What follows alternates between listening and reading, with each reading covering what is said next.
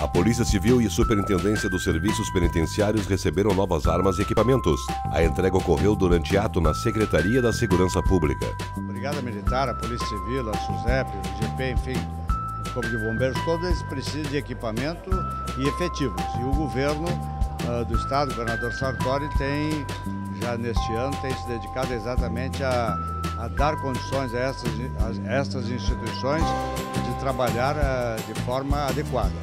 Este ano entrarão na, nessas corporações 4.200 servidores, de janeiro até o fim do ano. E, e esses equipamentos, veículos, armas, enfim, que estamos comprando, eles visam exatamente dar condições de trabalho a essas instituições. A Câmara dos Deputados aprovou o texto base do projeto que estabelece o regime de recuperação fiscal para estados em dificuldade financeira. O principal foi votado, mas faltam ainda os destaques e posteriormente a votação no Senado.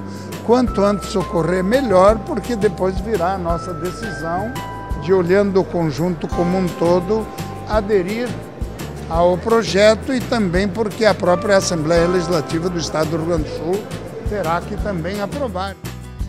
Agilidade e segurança norteiam o serviço oferecido pela Junta Digital. A nova ferramenta foi lançada no Palácio Piratini.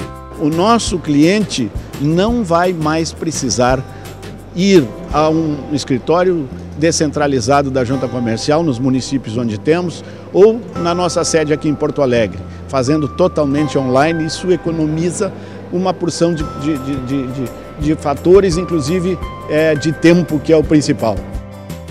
Grupo de Educação Fiscal Estadual do Rio Grande do Sul promoveu em Porto Alegre o seminário de abertura das atividades programadas para 2017. O evento deu início a uma série de encontros pelo interior do estado, mobilizando professores, gestores municipais e representantes de entidades sociais. Toda a receita do Estado ela decorre da arrecadação de tributos, portanto, da contribuição que cada um de nós, cidadãos, a sociedade, gera para o Estado. É importante que ela possa ter consciência desta importância e ela possa controlar, exercer uma efetiva participação na destinação desses recursos que são repassados pela sociedade ao Estado.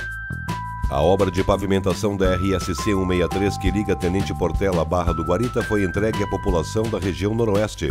O investimento foi de 28 milhões de reais e integra o programa de pavimentação de acessos municipais do DAIR, financiado pelo BNDES.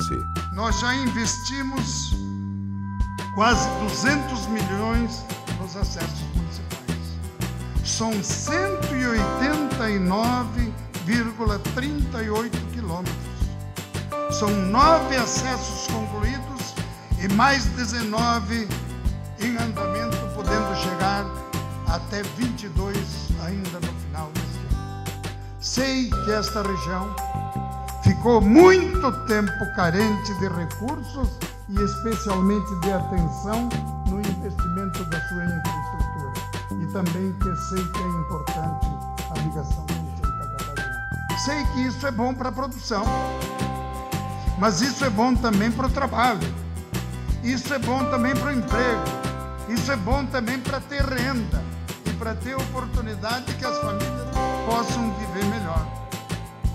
O governador José Ivo Sartori participou da abertura oficial da 14ª Feira Exposição Industrial, Comercial e Agropecuária de Três Passos. Com mais de 220 expositores, a FEICAP fortalece as cadeias produtivas da região e o acesso às novas tecnologias.